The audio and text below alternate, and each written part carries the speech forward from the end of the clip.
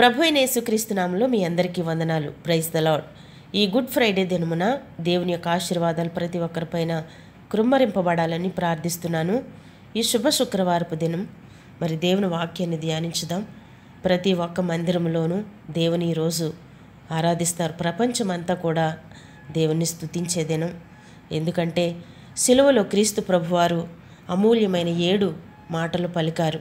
ప్రతి ఒక్కరూ కూడా ఈ దినం ఈ అమూల్యమైన ఏడు విషయాలను ధ్యానిస్తారు ప్రార్థిస్తారు స్తుతిస్తారు.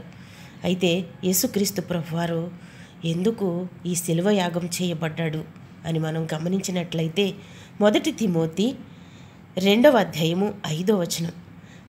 దేవుడొక్కడే దేవునికిని నరులకును మధ్యవర్తియును ఒక్కడే. ఆయన క్రీస్తు యేసను నరుడు.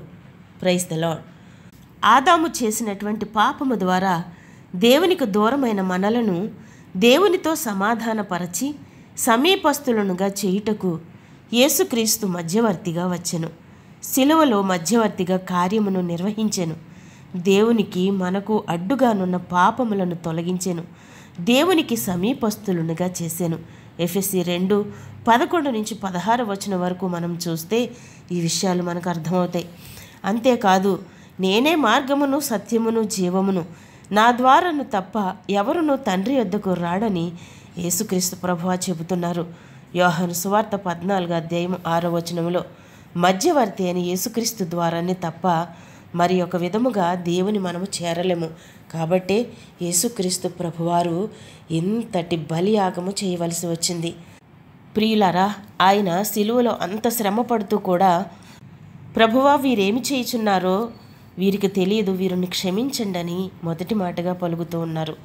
తనకు తాను క్రొవ్వొత్తిలా కరిగిపోతూ కూడా శిలువ శ్రమను అనుభవిస్తూ కూడా ఎంతమాత్రం విసుగు చెందలేదు ఆ శ్రమ నుండి తప్పించబడటానికి ప్రయత్నము చేయలేదు. తన్ను తాను రిక్తునిగా అర్పించుకున్న దేవుడు తనను తాను వదకు తేబడిన గొర్రెపిల్లగా అర్పించుకున్నటువంటి గొప్ప దేవుడు తన ప్రాణ త్యాగము ద్వారా తండ్రికిని మనకును మధ్యవర్తిగా పనిచేశారు.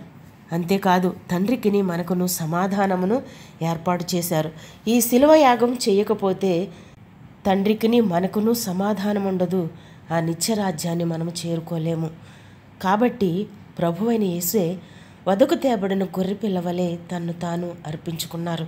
అటువంటి గొప్ప దేవుని కలిగి ఉన్నందుకు మనం ఎంతో ధన్యులము ఈరోజు శుభ శుక్రవారం. అందరూ మరణిస్తే అది దుఃఖకరం అనుకుంటారు. కానీ క్రీస్తు ప్రభువారు మరణించటమే మనకు శుభము.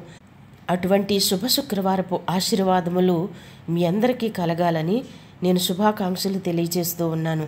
ప్రార్థన. మహాపరిషుదుడివైన మా ప్రియ పరలోకపు తండ్రి నీ పవిత్రమైన పుణ్యపాదాలకు స్తోత్రాలు ప్రభువ. ఆనాడు నీవు సిలువలో చేసినటువంటి త్యాగము ద్వారానే మేము ఈనాడు రక్షణ పొంది నిత్య జీవానికి వారసులమవుతున్నాము. అందును బట్టి స్తోత్రము. నైనా నీ శిలువ యాగము సర్వమానవాళ్ళకి శుభకరము. అందుకే ఈ దినాన్ని శుభ శుక్రవారం అన్నారు. అందును బట్టి నీకు కృతజ్ఞతలు. నువ్వు చేసిన త్యాగానికి ఏమిచ్చి నీ రుణం మేము తీర్చలేం ప్రభా నీ కృపను బట్టి నువ్వు చేసిన త్యాగాన్ని బట్టి నీకే కృతజ్ఞతాస్థుతులు చెల్లిస్తున్నాను. ప్రార్థనలో ఏకీభవించిన ప్రతి ఒక్కరిని ఆశీర్వదించి దీవించండి. ఈ దినపు ఆశీర్వాదాలు అందరిపైన కుమరించి మహిమ ఘనత ప్రభావాలు మీరు మాత్రమే పొందుకొనమని యేసు పరిశుద్ధ నామంలో ప్రార్థించి వేడుచున్నాను. ప్రియ పరలోకపు తండ్రి amen. Praise the Lord God bless you all.